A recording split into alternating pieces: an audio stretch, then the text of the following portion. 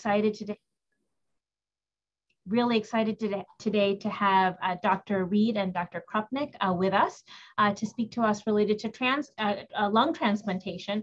And I'm sure we'll, we'll, we'll touch on some of the aspects related to COVID as well. Um, so I'll start off by introducing both of our speakers. We'll start off with Dr. Um, uh, Dr. Krupnick. Dr. Krupnick did his undergraduate degree at the University of Michigan, um, followed by his medical degree at Michigan as well. Um, he did his residency and uh, sorry, internship and residency at the University of Pennsylvania, followed by a lung transplant fellowship at Barnes Jewish Hospital and a thoracic surgery fellowship at Barnes Jewish as well. Dr. Krupnick is currently uh, the um, uh, Vice Chair for Academic Affairs in the Department of Surgery at the University of Maryland, as well as Professor of Surgery at the University of Ma Maryland, as well as a Professor of Microbiology and Immunology. And he is a, a, a member of the Greenebaum Comprehensive Can Cancer Center at the University of Maryland. Um, and you know, it, this is true for both of our speakers. Their CVs are full of so much scholarship, mentorship, and, and so much accomplishment. So um, really looking to, forward to hearing Dr. Krupnick's presentation. Dr. Reed, um, Dr. Reed did his undergraduate degree at the University of California at Santa Barbara and his medical degree at the University of Virginia. Um, he did his internship, residency, and chief residency um, at the University of Illinois. Um, I'm sorry, yeah, University of Illinois, Chicago, um, followed by a pulmonary and critical care fellowship at Johns Hopkins University. He is a professor of medicine at the University of Maryland. He is the, I, I think, the director of lung transplantation also at the University of Maryland. So welcome both uh, Dr. Reed and Dr. Uh, Krupnick, and I'll pass it on to you. And just a reminder to everyone, uh, feel free to put any questions or comments that you have in the chat, and we'll uh, make sure to go through those at the end. And a reminder to send all of your evaluations to Barb when we're completed. So welcome. Well, thanks for that introduction. Um, Sasha and I love to, to, to, hear ourselves talk, and it's great uh, to, to uh, have other people engaged in that. Um, uh, this, this is my favorite presentation, so we'll, uh, we'll, we'll begin with that. Um, so I, we have no disclosures, and these are the learning objectives that are CME required for, uh, for the presentation, but we'll touch on all this. Uh, and, and this is our team. Uh, and uh, that, that's my contact and Sasha's contact down there. This slide will appear at the end of the presentation as well uh, if, you, if you miss the opportunity to write down our, our emails. Um, so in terms of what we'll talk about, we're going to talk about uh, just an overview of lung transplant in general, uh, some guidelines for referral. We'll talk about COVID a bit, and, and then we'll, we'll have a little bit of a few slides on our, our own program here. So beginning with the overview, I'll hand it over to Sasha. You can just tell me when to go to the next slide. yeah, sure. just a little bit of historical. This is something that's, uh, I'm kind of a history buff. So the first the modern era lung transplantation actually started with uh, my mentor Joel Cooper, who will actually be giving a talk here in January. He is in his mid 80s, but still robust and literally stopped operating a couple of years ago. The first lung transplants were done by him and his team in 1983, including a single, uh, which was the first one, then double lung transplant. In 1989, the whole team moved to Washington University in St. Louis, and a lot of us, uh, myself, Chris Lau, and a lot of us here trained with Joel Cooper at St. Louis. Go to the next slide. So actually, if credit is due, the first experimental lung transplants were done by uh, pioneering Russians. I'm of Russian background, so uh, Russian experimentalists. But really, the first success was by probably the most underrated academic surgeon, James Hardy, who was the chief of uh, surgery at University of Mississippi. He's a Penn alum. He did the first human lung transplant in 1963 didn't have modern immunosuppression. So the patient got thymic radiation, high dose prednisone, high dose uh, azathioprine, and died at three weeks, mostly due to lack of uh, adequate immunosuppression. Ironically, the same day, uh, uh, that it, it's, it's exa- exactly the same time they were doing the transplant. Uh, one of the civil rights uh, leaders was shot, and actually, the resident who was scrubbed in the first human lung transplant had to scrub out and go to the emergency room to help uh, with resuscitation. So this was actually overshadowed. Based, uh, there were a couple more done, but again, without modern immunosuppression, which didn't occur till the late 70s, this was not feasible. Next if anybody's interested, this is a wonderful uh, book. I'm a history buff uh, by Jim Hardy, and uh, he did a lot of first. Did a first xenotransplantation, so he's probably the most underrated uh, academic surgeon out there. But did a lot of first. Next, um, Rob, that's you. So. I have a, a, few slides here just on background of transplant. Um, th this is conceptually where the anastomoses occur, uh, and um, a single lung transplant uh, has three anastomoses, there they are. Um, a bilateral, obviously, uh, you do the same thing on the other side. The incision that's made um, is, is either a lateral thoracotomy or this clamshell incision. Um, and what the clamshell looks like is that. Uh, it, it, gives pretty good exposure. Um, just some, some visualization of the surgery itself here. In terms of the transplant itself, it, it has really kind of uh, boomed and, and uh, grown every year. And the growth you see is primarily in the purple. That's a bilateral lung transplant, which has really become the favored transplant uh, largely at, at, most programs for a variety of reasons. Uh, the primary reason being that uh, the survival is, is better. Um, you can see the conditional survival, and the conditional survival here means that if if your transplant recipient survives the first year, which is the the year that is um, a bit steeped in risk. Uh, the immune suppression and the surgery uh, are um, at the highest risk around that, that first 90 days, really. But if, if, your, if your recipient survives that first year, um, the median survival is 10 years. That's pretty good. Uh, now, the, the, um, this difference between a bilateral and a single is, is explained in large part by um, other factors, uh, including um, the, uh, the, the, characteristics of the recipient. Older, more frail patients are, are typically given a single lung because it's a lesser operation.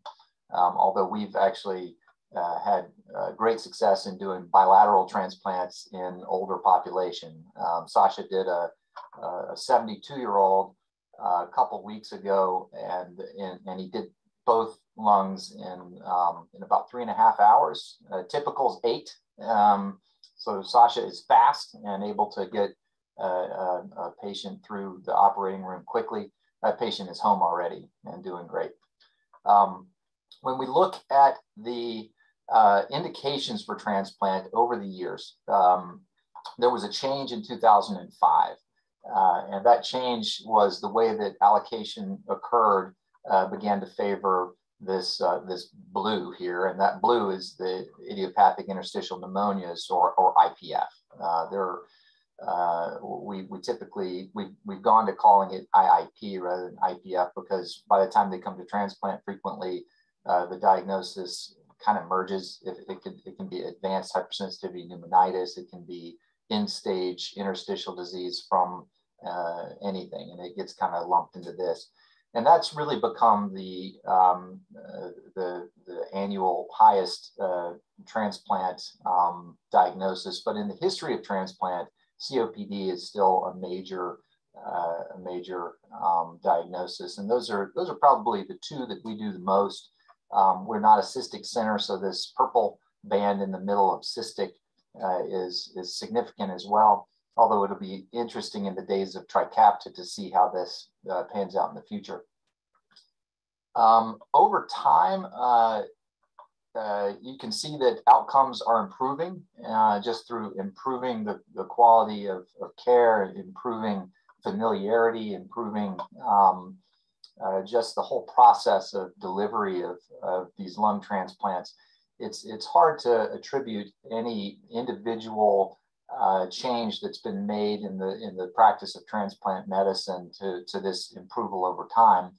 Um, and you know, it's kind of a busy slide. You can see that the, the most modern era ends earliest because there just isn't as much follow-up time. So if you look kind of here at three and four years, you can you can see that there's clearly a march um, towards better survival. So the, the old survival data used to be quoted median survival of, of five years, and, and it's, it's better than that now.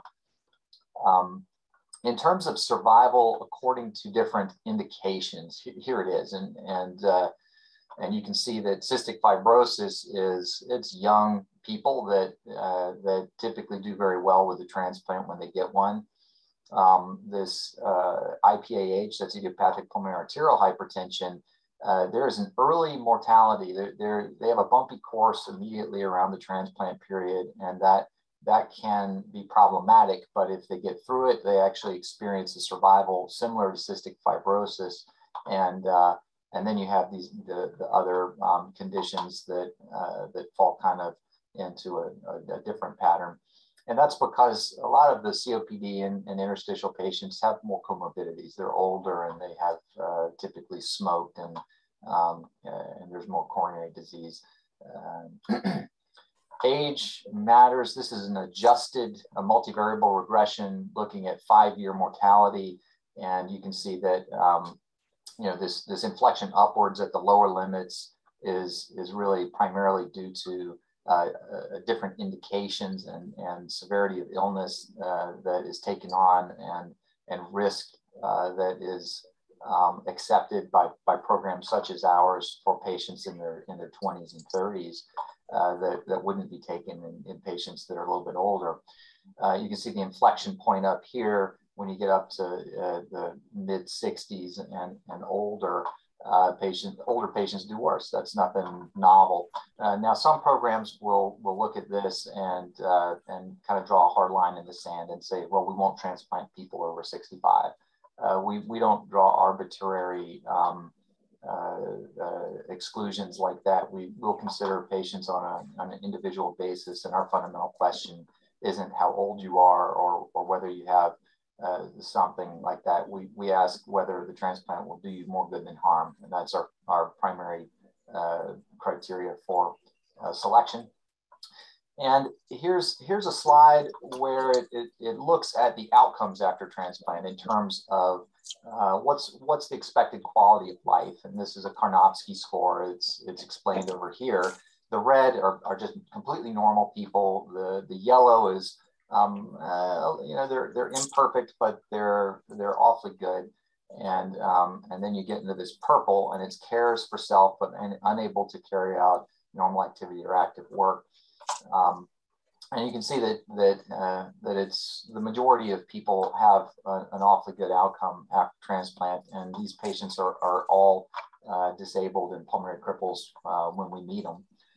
Um, referral guidelines. We'll touch on this uh, a little bit, and I'll give you some of the background on the um, on the papers that informed these referral guidelines. These were written initially back in 2006. They were uh, revised in 2014, but largely reiterated it. There was a real anchoring bias where they just looked at the prior work and, and didn't change a whole lot. And if you really dig into uh, a lot of the data informing uh, the initial recommendations back in the first uh, consensus guideline statement, um, it, it's pretty it's pretty small, but it was the best information they had at the time. So in in to, to, to make it as simple as possible, these are really the indications. You really have to in, have end-stage lung disease.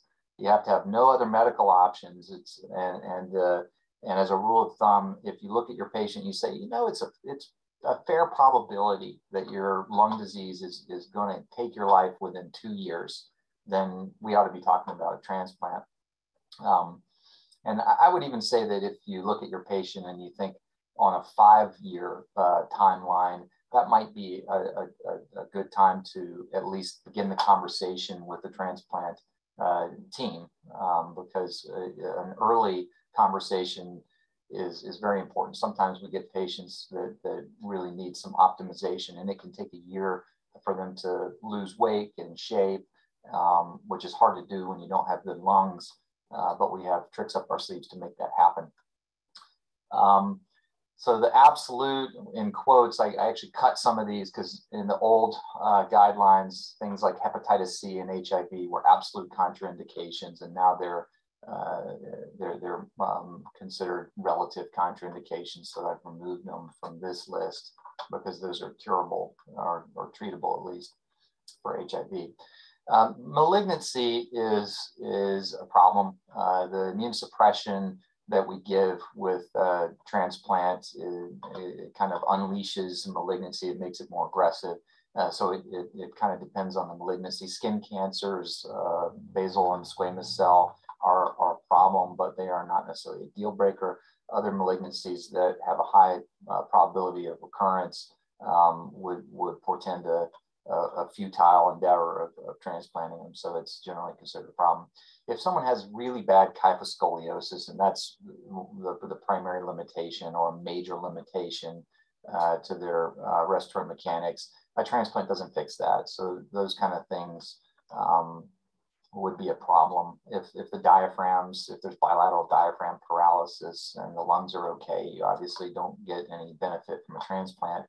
Non-adherence, you know, if you don't, if you can't take your medicine after transplant, you reject, you die, it doesn't help you to get a transplant. Um, and uh, same thing there, inadequate social support. If, if a patient is living alone, um, uh, it, they they can run into problems. They can get confused uh, with their medications, and um, and it's living with someone can be the difference between being found sick and being found dead. Uh, so we really require people to have pretty good social support, people that can um, help them out when they're sick, help them with their medications, uh, get them to their appointments. Um, substance addiction, there's there's an arbitrary six month uh, uh, uh, that they, they need to be um, tobacco free and they need to not be using any kind of substances as well. Um, the uh, so any other major organ system that's untreatable and untreatable advanced uh, you know there on occasion we can do a, a, kidney and a lung for an otherwise compelling patient um, uh, but if you if you have a cirrhotic patient with lung disease we probably uh, are not going to be able to help that patient. If, uh, if they have heart lung and they're and they're young patient, then we could do a heart lung transplant. There are some uh, there are some options for patients with uh, a couple of organs. Um, and you know, we often don't consider it uh, another organ system, but it should be considered another organ system, particularly in the days of COVID. Uh, the, the musculoskeletal system. So if somebody is extremely uh, debilitated and doesn't have a lot of rehab capability, just from being paralyzed and prone for a month, it, it is a, a, major barrier to success. Um, if they have a non-curable chronic extrapulmonary infection, that's a problem, obviously. Relative contraindications, uh, age over 65 as mentioned, there are some programs that, uh, that won't even contemplate uh, a transplant in, in, an amazing 70 year old. We're not one of those uh, uh, programs. Um, critical or unstable, if, if your patient is on ECMO, uh, it, it, it's going to take a pretty compelling patient uh, to, to succeed. Um, poor rehab potential, as mentioned before, and if you're colonized with problematic organisms, if you've got a multi-drug resistant Acinetobacter, um, it, it can be uh, a disaster to uh, give you the immune suppression necessary to prevent rejection. Obesity, uh, we do um, we, we do kind of draw a, a, line in the sand there. Although if if one of the Ravens linebackers came in and their BMI was 36 uh, and they're pure muscle, uh, we would we would probably consider that patient. But uh, for for people with a BMI over 35, we we typically don't offer them a transplant. We offer them um, assistance in losing weight in a healthy way down to a threshold where uh, where we can uh, expect a successful transplant to occur. Um, osteoporosis, uh, we can work with that, but it, uh, it, it, also is uh, a problem. Um, mechanical ventilation uh, is a relative contraindication, as is ECMO and, and any other uh, medical condition lacking optimization listed there. These are all made worse by transplant. Um, you know, I think that uh, esophageal dysmotility and esophageal problems uh, you know, wasn't really on the radar of the um, uh, of the uh, the, the folks writing the early guidelines It should probably be on here. It, it's a major problem. Um, uh, maybe GERD is, is capturing that a little bit. Uh, those, those folks that have swallowing problems and a lot of acid reflux uh, can be transplanted, but they're often committing themselves to uh, uh, being fed by a, a, peg tube rather than by mouth for quite a while. And if they can't commit to that, then it can portend a, a problem because if they if they aspirate, they just get recurrent events of, of uh, aspiration, pneumonitis, and um, and it'll lead to rejection of the lung and, and a bad outcome. It's mostly problematic in your scleroderma patients, uh, and it um, the, the, the, gut does definitely function less well after a transplant, and, and it can be a, a three month, six month uh, stint on a, a, feeding tube for some people. It's kind of a classic slide in transplant. Um, there's a risk of being transplanted too early. Obviously, I, I you know I could be transplanted now, and I'd be great uh, in terms of transplant. Uh, the, my long-term longevity would be reduced considerably. We don't want to shorten people's lives uh, and the risk of the transplant itself um, is, uh, needs to be factored in versus the risk of the disease. The, the conceptual um, slide here is, is uh, kind of shows you the, the disease course of a patient, uh, just as an example of you've got the too early to transplant where you might actually shorten their life. Um, and then you've got the too late where they've hit the point where they're so sick that uh, we can't really help them. Um, and then you've got the sweet spot where you can, uh, where you kind of see what's coming. They're still strong. They're, this is your IPF patient that just starts oxygen. You know, the, if you're prescribing oxygen for somebody with an interstitial disease, they probably need to meet uh, me and Sasha unless there's a clear reason why a transplant can't happen. Or uh, you know, when you're when you're prescribing uh, OFEV or Esbriet, is probably a, a, good time for them to also hear about other options if if those options are um, ones that would would make sense for them if they're not you know 88 and frail. Um, so we'll go through the indications um, for different uh, different transplants, and um, and I'll give you a little background on how those indications were uh, come up with. Um, so COPD the, the pink puffer, blue bloater, classic netter pictures. Our own Steve Scharf here at University of Maryland actually took care of this guy that Netter used uh, as a as a model for this um, uh, for this drawing, and says that he looked exactly like that. Uh, so um, don't want to leave out the ladies. The COPD is is actually uh, more common in women than men at this point. Um, thanks, Virginia Slims. Uh, so in, in summary, uh, COPD, these are the guidelines, these are the recommendations. And, and I, I, I'm using the 2006 guidelines. They were changed a little bit in 2014. Some of the changes were, uh, were a little bit silly, uh, but the, the core of it was all here. And um, the, the, uh, the recommendation was if you have a BODE score of, of five or greater, you ought to go ahead and refer your, your COPD patient. And then there are recommendations for transplant timing, and I'll include those as well because uh, sometimes if, if, if you don't recognize uh, the, your patient as meeting one of these referral criteria, recognizing a transplant criteria, like, oops, I should have already referred. Um, and so the, there's this recommendation for BODE score of seven or more, and, and I'll get into that. Uh, and then there's this recommendation that if your patient has ever been hospitalized and manifested hypercapnia with a CO2 over 50, uh, that that may be a, a, an indication that the transplant timing should be sooner rather than later. Pulmonary, the presence of pulmonary hypertension and, and this kind of odd appearing criteria that, that may make sense if you recognize it from the NET trial uh, but if your FEV1 is less than 20 and, and you either have the DLCO less than 20 or homogeneous emphysema, these are your criteria that preclude uh, lung volume reduction. Um, and uh, and here's here's your BODE. If you forgot what this is, this this paper I think is uh, from back in 2004. I think this is kind of what uh, what made Bart Celli kind of a rock star in, this this publication. He uh, kind of uh, he was already reasonably well known, but this this really kind of launched him into the extremely famous category. If you live in the world of COPD, Um, and, and here are the points on the Bode index. It's the, dictated by FEV1, the distance walk, the MMRC, and a body mass index. And this was way overplayed on the boards for, for like a decade after this publication that you could get one point for being skinny. Um, wow.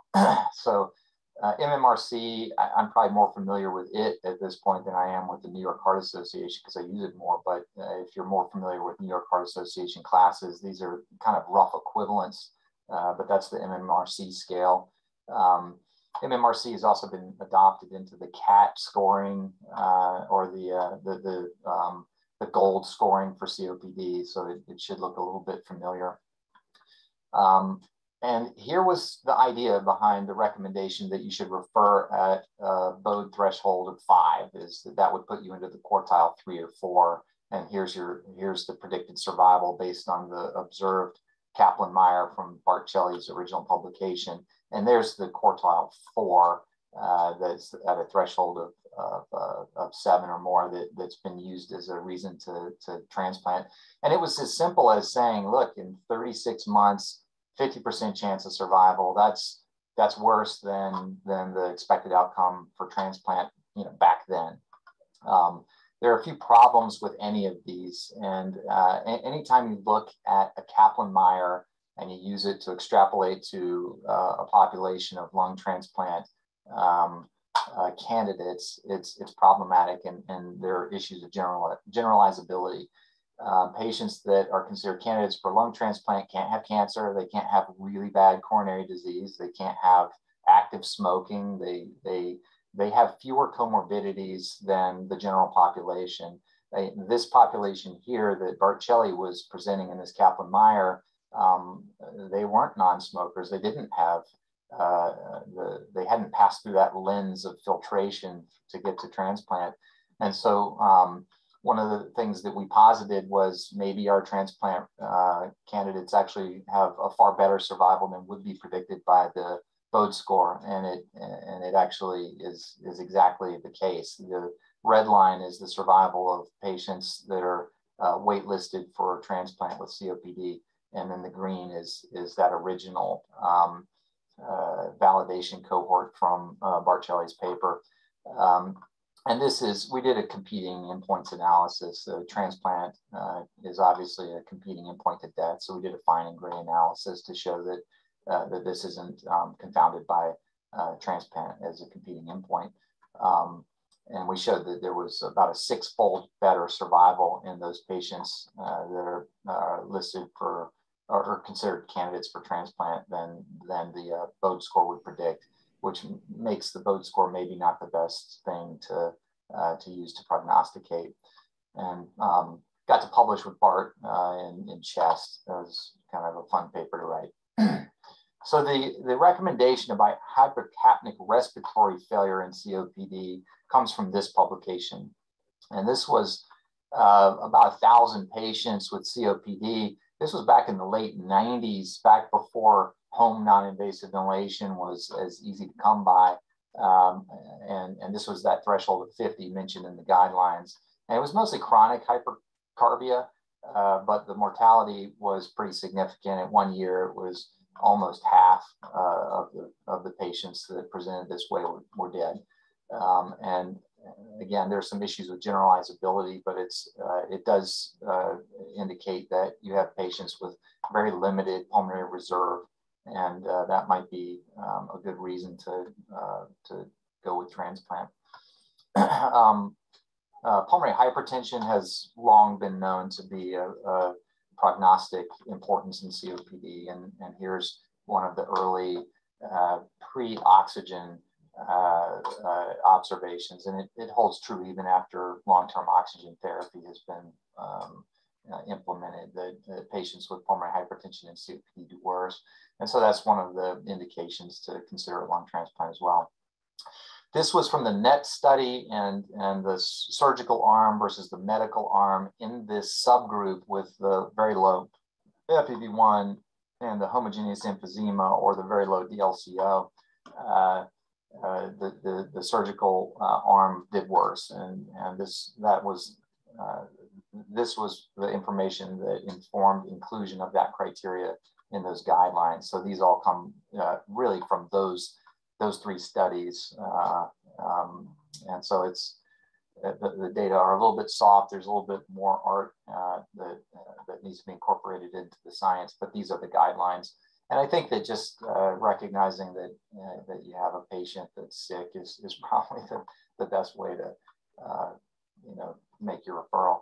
So here's your um, IPF or idiopathic interstitial pneumonia, this fibrotic NSIP and, and IPF clustered together in terms of your referral.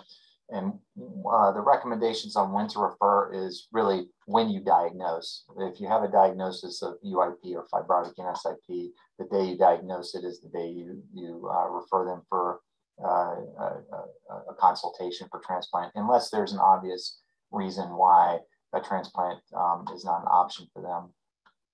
Um, and then the timing for transplant is, is more complex. Uh, for UIP, there's this DLCO threshold of 40, um, 10% uh, FVC decline. You know, if your DLCO is trending down, pretty much anything that's trending down um, that says my patient is getting worse, if their oxygen requirement is new or, or progressing, any of those are, are triggers that, that you ought to move forward. Um, hypoxemia, even during a six minute walk test, is, uh, is an indication that your patient um, uh, should, should be transplanted sooner rather than later. Um, honeycombing, so we can just look at the CT, and if it is extensive degree of, of uh, damage, that, that is considered um, an indication to go ahead with a transplant as well. For fibrotic NSIP, uh, this DLCO threshold is a little bit lower, and that 10% uh, decline in the, in the vital capacity over six months holds true. The, these recommendations come from Kaplan-Meier's of, of, relatively small uh, observational studies, uh, and, and here they are. You know, the, this was a this was actually a larger uh, observational study, just trying to get a sense of how long patients with uh, IPF live. It was 900 patients, and the median survival here was almost four years. The problem is this was an overestimate of survival because it was cross-sectional in, in, in its enrollment. It, was, it wasn't um, just incident, it was incident and prevalent cases. So prevalent cases are those who are gonna uh, survive longer, and the, the longer you survive, the, uh, the more likely you are to be captured in this. So it skews towards a better survival. Um, but it, it creates a good bookend to say that uh, that uh, you know of the patients that you've got right now, this is kind of the the better uh, predicted survival that you can expect, and this is really true for IPF. You really do have kind of a plateau and then these drops. Uh, and if you have somebody with IPF that has one of these drops that has a, an IPF flare, you treat it, you get them back uh, into their um, into uh, their, their home and uh, but they have maybe a little bit more oxygen requirement, that's really telling you that you've destabilized and, and it's time to consider moving forward with a transplant. Um, and here, here what I was mentioning, the, the Kaplan-Meier's uh, showing the, these declines in vital capacity. Uh, there's a couple of uh, papers here that have shown that that decline of 10% uh, kind of matters. I would argue that this decline of zero to 10% is uh, um, is is something to certainly keep an eye on. And um, uh, it, it's uh, you know, I, I, think that it, it, certainly justifies doing frequent um, uh, uh, pulmonary function tests in these patients because you can pick up on these changes and uh, oftentimes the DLCO changes even before the vital capacity does, and it can really tell you what's coming and, and, and when to expect your patient to kind of hit the wall. Um, the uh, these studies were were pretty small as well, but what you can see is that in the patients with uh, NSIP and and IPF, um, you know, the the, uh, the change of ten of ten percent um, mattered here in, in, these studies as well. This was 179 patients, um, and then this was the DLCO. Uh, data that informed that recommendation of 35% for NSIP because uh, you can see that it, it, the, the Kaplan-Meier is, is poor. Um, but uh, these these recommendations came from an experience of 12 and 16. It's not it's not super robust. I mean, your anecdotal experience, at least mine, because I do this work with uh, uh, with UIP and NSIP, already exceeds what the published data right here are. Um, but I, I, think that just recognizing that that DLCO as well as the DLCO trajectory can be very informative about when is the right time to, uh, to move towards transplant with the patient. Hypoxia during a six minute walk test, there were, uh, uh, there were uh, these observations that um, if the SAT was less than 88, it was considerably worse. You know, sick patients do worse is kind of a theme in publications. Uh, there are quite a few of those out there. This was kind of interesting though, the distance saturation product. Um, I do, there are some issues with this around, around transplant because uh, our ideal transplant patient would actually be somebody who can walk a really long distance, but they their oxygen is awful. And we have a lot of those patients because we work very hard to keep our patients robust, healthy, physically fit, other than their lungs. And um, and we we spend a lot of time improving their uh, this distance saturation product. But this is a six minute walk test where you take the distance walked in meters and multiply by the lowest oxygen saturation on room air and if the if that number is less than 200, they fall into this category rather than that category. Um, so there's your summary, and, and you can uh, take it with a grain of salt as you want. Uh, I think that the important thing is the referral timing. Earlier is better so that there's room to uh, uh optimize these patients for transplant, as well as to uh, be able to be cognizant of, um, uh, of of, of how we can optimize them for a transplant. Um, there, the transplant evaluation is, is kind of an extensive battery of tests and, and uh, it can't, it's, it's challenging to do it quickly. We would have to admit a patient to the hospital uh, to get through it in a week. It frequently takes a month, several months to get through as an outpatient. Uh, so it, it's best to start that process early. All right, so this is the next condition.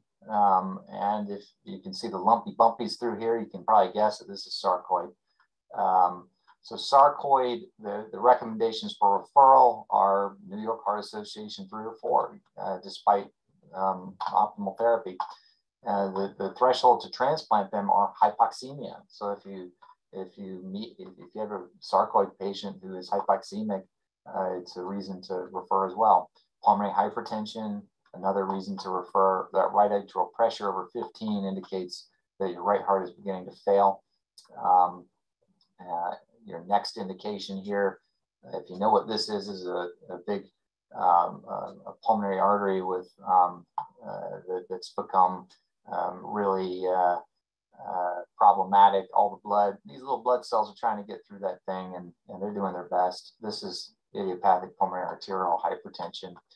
Um, and it's kind of similar to uh, sarcoid referral guidelines that uh, you have to have uh, optimal therapy. Obviously, if, if you're failing Revatio and you've tried nothing else, then um, sure, send the patient to us, but we'll tell you you got to fail Flolan or equivalent uh, to, to really uh, be sure that you're helping the patient with a transplant.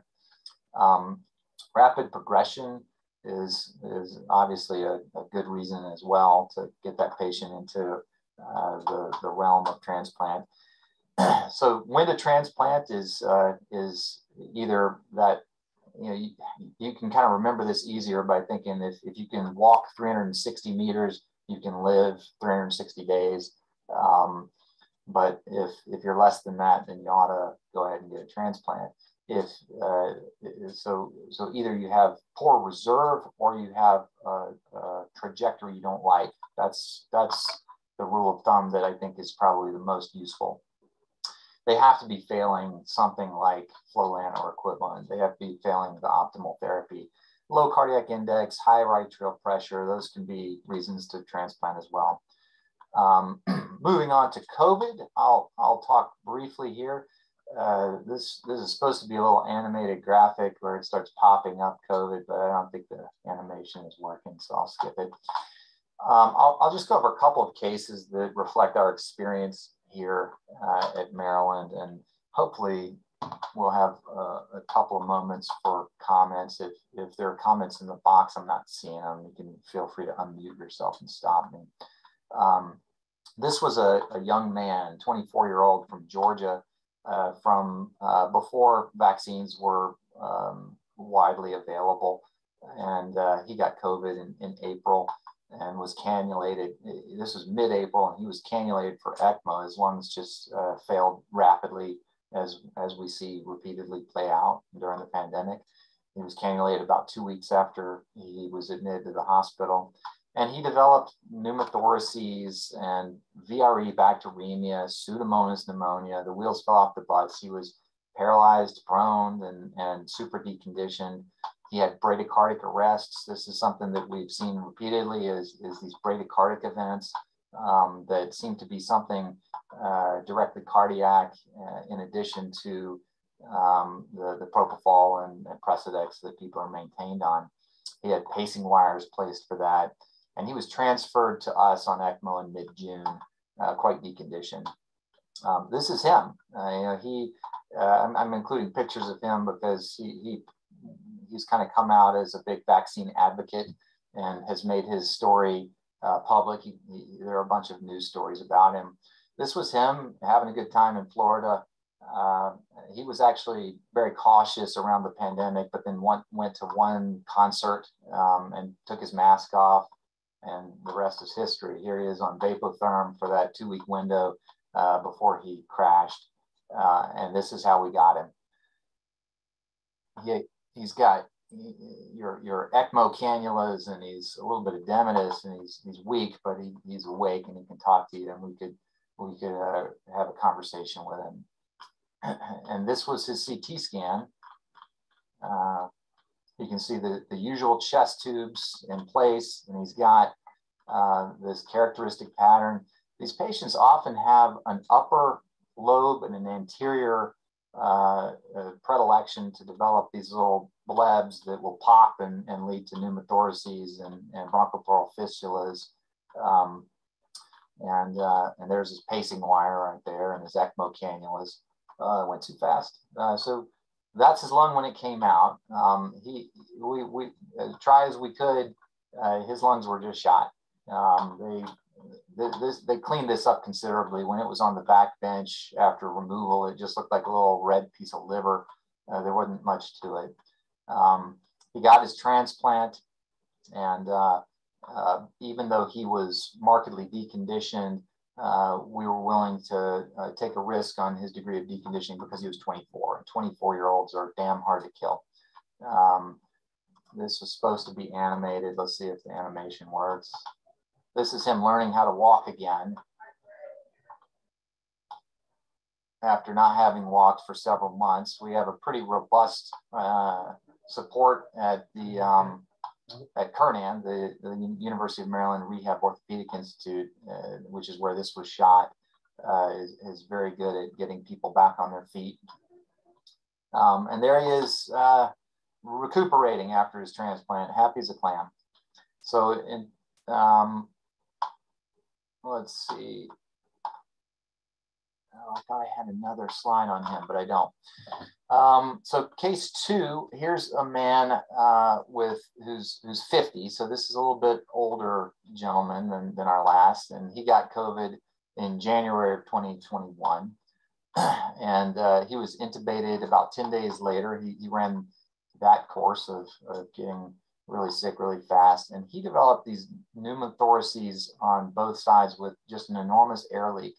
We were consulted um, around this time because they couldn't ventilate him at all. His oxygenation wasn't terrible, uh, but he he had these huge blowing air leaks, and they they consulted us for ECMO and they consulted us for transplant um, because uh, they were concerned that there was no other option, um, and and he was he was really unstable. By the time we were consulted, he was also he he was so sedated he couldn't talk to us, and he he was not like the last one. We couldn't even have a conversation with him and talk to him about his preferences for transplant. He was extremely deconditioned, couldn't lift his bed his arms off the bed when we lightened sedation. Um, And here was his scan. Uh, if, if anything, it looks maybe worse than the last case. and you can see that again, we've got these this upper lobe with an anterior uh, kind of predilection for this stuff. And you've got some lower lobe uh, traction bronchiectasis beginning here. Um, and these pneumothoraces that sit up here are, are a challenge, couldn't, couldn't be ventilated. Um, there were some problems in moving forward with him. Uh, he wasn't yet six weeks out from his first uh, uh, uh COVID um, test. This was in the early days of the pandemic. We, we had to work in a multidisciplinary fashion with our transplant ID folks to come up with an algorithm of how to move forward with patients uh, with COVID so that we didn't just transplant them and have them die of, uh, of a virus that was still in their system. And this was the algorithm that we that we came up with here.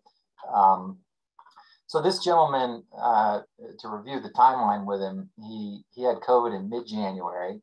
Uh, he actually uh, never required a transplant. We we just proned him. Uh, those upper lobe anterior blebs will frequently respond to proning. Uh, we put in some endobronchial valves as well. They they were partially helpful, but uh, the proning really allowed those bronchopleural fistulas to heal. Um, discharge him to home two months later, and he never got a transplant. So we, we consider this a, a success. You know, we we don't just transplant. We're not a barber. Um, you, know, you don't send somebody to us and, and we, we give every patient a haircut. We, we will do our very best to try to salvage a patient without a transplant when possible. CT on this patient was repeated in June. And this is interesting because this was his CT that I showed you before. And you can see there was some of this traction at the bases. It's not normal, but uh, most of these abnormalities that we would have thought would be fibrosis and scarring are not. Uh, they actually recover and the lungs look much better than you would expect them to.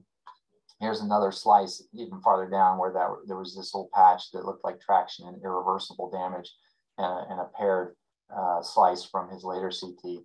Uh, a lot of this may be surfactant dysfunction leading to collapse of the alveoli and traction that, um, that does not reflect uh, fibrosis. Um, so how do we predict who's going to live and who's going to die, who, who needs a transplant and who can be bridged through? Uh, that's uh, there's an art to it, and, and a lot of it is anecdotal experience right now. And a lot of the publications are look what we did kind of publications there is this preset score idea that, that pertains to ECMO, um, and that you calculate it like this. There are online calculators for the preset score. Um, this was adopted a little bit by our ECMO folks here at Maryland. Um, and you know, Ali Tabatabai and 16 of his closest friends published this experience um, uh, pertaining to the first 40 ECMO COVID cases. And, and what they say is that the outcomes have really improved uh, since then, uh, uh, largely because of um, selection. You know, they were they didn't really know who was the ideal candidate to bridge to recovery um, at, at, this point, and and they've become a little bit more selective. So it does make it harder to get patients in. Uh, but if you get your patient in and on ECMO, um, they're, uh, what what their more updated uh, data uh, would suggest is that 70 to 80 percent of those people will ultimately um, uh, go home. Um, 33 of these 40 uh, at the time of analysis had had ECMO discontinued, um, and 18 of those were survivors. This is 18 of the 33. So these other these other seven we don't we don't know what happened with on this publication, but there were about half survivors. And, and again, this was the early experience and they're doing better now. There were 15 deaths. And it seemed like that preset score uh, was indicative of who was going to survive and who was going to die. There were other things that were indicators of death. The, that the development of those pneumothoraces was a negative pro prognostic indicator. Um, failure uh, to uh, observe improvements in the compliance. It was another indicator of, of mortality, another example of the sicker you are, the, the more likely you are to die. Um, so I'll hand it over to Sasha here uh, to talk about our amazing program. Thanks a lot. Yeah, so our program's gone through a lot of changes, and uh, Rob and I are both new. We've been, uh, uh, well, Rob's been here, but he's uh, uh, the new uh, medical director of the lung Trust program. And one of the things that's changed, and one of the reasons I was recruited by Chris Lau, who's right there in the center. She's actually a chair of surgery and she's a lung transplant uh, surgeon as well. Uh, we trained together in Joel Cooper at Wash U uh, a couple of years apart. And we really wanted to grow a program and truly make it a program. So you see, there's a couple of people on there that um, uh, whose pictures we don't have. There's also two more NPs we are looking for. So part of the reason is we think that lung transplantation access is difficult in Baltimore. In fact, looking at similar cities with similar populations, the numbers and accessibility to lung transplant should be two or threefold. So I think there's a lot of people that we could help that aren't being helped and are probably dying not knowing that this resource is available. So that's what we want to let you know. We're ramping up a team. Uh, we have a commitment from the institution. They want to grow the program and we're happy to see anybody anytime and evaluate. Obviously, uh, nationally, about 10 to 20% of people referred for lung transplantation actually turn out to be lung transplant candidates, but we're happy to see anybody and we'll call you and give you an honest opinion. If somebody's not a candidate, here are the reasons. This is why age, comorbidity, coronary disease, malignancy. Um, and there's our referral line, and uh, we have uh, coordinators available essentially at time. If you want to go to the next slide, Rob. One of the things that uh, we're uh, uh, focused on here is not just the clinical care, we're also focusing on basic understanding and uh, basic research as well as uh, clinical research. And one of the things that we brought here is a lab that studies essentially what should be lung specific immunosuppression. And part of the reason, as Rob showed you, is that long term survival of lung transplantation is probably the poorest among all organs. The only organ that really mirrors it is small bowel. And they're both these mucosal organs that are constantly exposed to the environment. So we have some hypotheses that simply decreasing non-specifically uh, the immune system is actually damaging to the lung. Go to the next slide. Uh, we actually developed a model. Miki Okazaki was one of my fellows who, when we were at Washington University, developed a mouse model. We do a lot of modeling, and the mice actually really mimic the human situation. Next slide, Rob. And uh, we have multiple uh, uh, lines of investigation funded by the NIH, as well as private institutions, individuals, as well as foundations that focus on unique immunological aspects of the lung that make it different than heart, lung, kidney. And we're starting to develop immunosuppression strategies that will be working and I want to call them more tolerant strategy rather than immunosuppression strategies that will be lung specific. They may apply to the gut, but might not necessarily uh, uh, apply to kidney or some of these other organs. Next slide. We also have several inve investigator initiated trials. Chris Lau has an R01 for a clinical trial where we're studying a drug, uh, adenosine, which is an um, uh, uh, essentially agonist of uh, uh, adenosine receptor, regadenoson, which is a drug that's actually used for imaging, but given in higher doses, we've shown that it can reduce ischemia reperfusion injury. We have an active trial going on right now. Next slide. And we have a very good partnership with lung bioengineering. A lot of the lungs that are considered marginal for transplantation, we will, our team will go out, will harvest, and we will put them an ex vivo lung perfusion, which both dries the lungs out um, uh, uh, and essentially evaluates them whether they're suitable for transplantation. We usually do about a dozen to half a dozen a year, these are organs that are considered a little bit high risk, but we bring them back, we uh, uh, perfuse them, we assess them, and a large number of them will be able to put into patients to benefit our patient population. Next slide. And again, this is uh, our team. Uh, uh, uh, some of our team team is much larger, but these are the only people that can make it to the picture. So um, that's really all I have. We have any questions?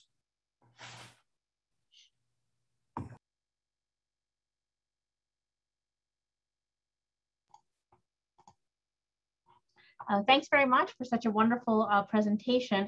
We have a, um, oh, okay, that's your your message in the in the chat. So please, the chat is open for anybody that has any uh, uh, questions for our presenters.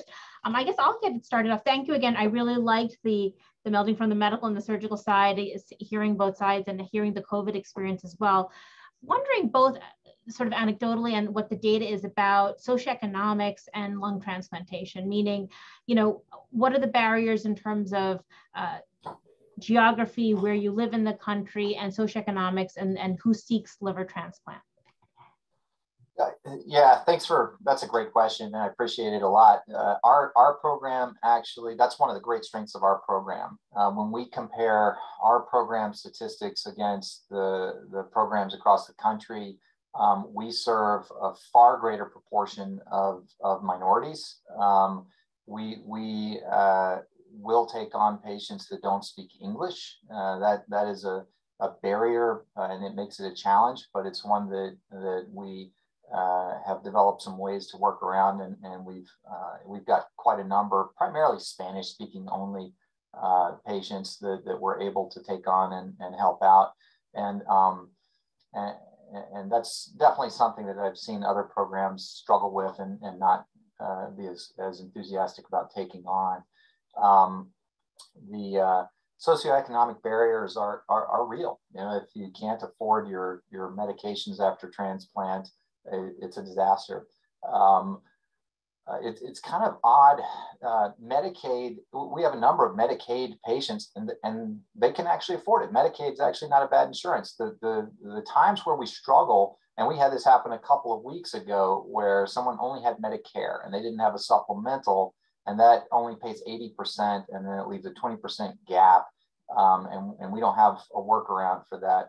We ended up um, rather than just saying, sorry, you have to die, uh, we, we worked really hard to find that patient uh, a way to get a supplemental insurance. The only one they were able to get was Kaiser, and, uh, and Kaiser doesn't uh, doesn't work with us. They they work it with UVA because when Sasha was at UVA, he worked uh, uh, with with the, the institution there to um, to bring in a, a Kaiser affiliation, and so now um, We're working on switching that to us. It's just a little bit more bureaucratic. Uh, it'll take a little bit, but soon. We'll get it, but uh, but we sent that patient down to UVA to be transplanted, and and, and I think that was a, another success for us because you know we we don't stop it. We can't help you. If we can't help you, we'll find a way to help you. Is, is sort of the approach that we take, um, and uh, um, that was a long-winded answer that allowed me to move past the question. Was that was that, did I answer your question there? Yeah, absolutely, because it feels like lung transplantation in particular, I feel like it's sort of different than liver, that there seems to not be early referral, early assessment, and early evaluation. Um, and so along that line, is it similar to liver in terms of regionality of organs and all of that? How does that work in terms of lung transplantation? Yeah, it, it actually, it's kind of, so one of the things that's happened, and one of the reasons actually I moved here is um, the allocation rules changed in 2017 uh, based on a lawsuit in New York. So before, and liver, I think, is going the same way, or maybe is already gone. Before you had your uh, United Network of Organ Sharing is divided into 50 regions kind of loosely mirror states, but not exactly. And it used to be that no organ could escape your region without exhausting all the recipients. And it became a very apparent, it was a very unfair system, especially in Manhattan. People were dying, and right across Hudson River, people with much lower acuity were getting transplants because it was a different uh, OPO. And there was a lawsuit, so now it's a 250 mile rule. So when we list a patient, a line is drawn 250 miles around our patient, our institution, and the person with the sickest score gets the first crack at the lungs. And that's one of the things Rob didn't point out. If you look at our program compared to all the other programs, our lung allocation score, the degree of sickness, is statistically higher. We are much more aggressive. Uh, we are not conservative, and we believe, look, there's patients that have four, five, six months to live. We'll give them a shot if there's no absolute contraindication. So that's one of the reasons we've been able to benefit is by having sicker patients. About a third to maybe 40% of our transplants is off of ECMO. They are so sick that they have to have ECMO beforehand. So we've been uh, doing well with getting the lungs with this new 250 mile rule, which has benefited our program and has benefited the sickest patients. Um, overall in the country, that has driven perioperative mortality higher because the way to get success is to transplant a patient who's at home not sick that's how you're going to get great outcomes. But then the sickest patients are going to die. So it's a fine balance uh, that's uh, going into play. But our strategy is we're going to go after the sickest patients, uh, and that's where our institution fits in. And we feel that it's our mission to serve everybody in Maryland. The state sponsors us for that reason, and to try to take care of the sickest patients that have no other choice. But we would love early referrals. We'd love nothing more than to evaluate the ILD patient early because the worst thing is they have an ILD crisis, they end up on ECMO, and uh, we have to work them up in house. Uh, it's very emotionally hard. Uh, uh, rather than work them up early, we don't list them, but we have all the dots checked that if they do have a crisis or they rapidly deteriorate, essentially all the boxes are checked. We can list them pretty quickly. Thanks very much. Um, and last question, just the role of the transplantation in our current era of COVID. What have you seen in the past, like I guess now that we're approaching a year that the vaccine has been available, are the numbers stable? Have they increased or decreased over this past year? Oh God, we get a call, we get, we probably get a call every other day. Um, my, my patient who didn't want the vaccine regrets it. Can he have a transplant? Uh, and so far, we have not been able to help many of those people. Um, we uh, it, it's it's rare. We have had a couple of patients. Uh, I got a call last week where there was someone who was a, a vaccine refuser who um, was sick, and the family is still vaccine refusing. And um, you know, I said, you know, there are a number of reasons why we couldn't help that patient that were medical. The kidneys were failing and the platelets were bad. But uh, but I was like, I, you know, I transplant a patient, then just put them right back into the lion's den and and have them get COVID again. Uh, is, it's it takes a toll on us to, uh, to to contemplate that. So there's there is it's there are a lot of very challenging issues to navigate.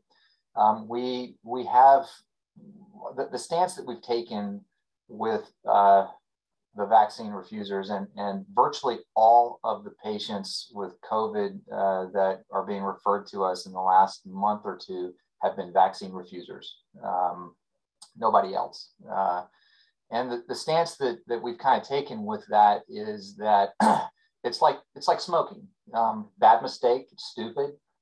Um, if you quit and you, and you change your ways, we're not going to hold it against you if you recognize that it was a mistake, we'll we'll do our very best to help you out. If you stick to your guns and you double down and you say we're not gonna we're not gonna work with you medically, we're not gonna take your medical advice, we're not gonna listen to you on this. Uh, we, we we put that sort of into the category of medical non-adherence, and we can't really work with you. Um, so that's uh, uh, it, it, I'm hoping that uh, as as this pandemic moves on into the endemic state, uh, that, that this won't be a continued problem.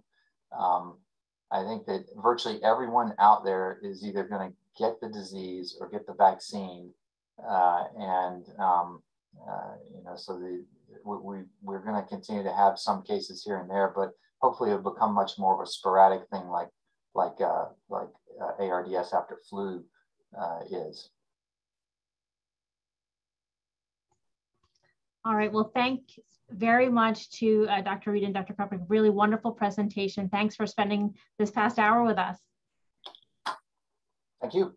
All right. Take care. Thanks everyone Thank for you joining. all. Bye-bye. Have a great uh, rest of your day. Bye-bye. Thank you.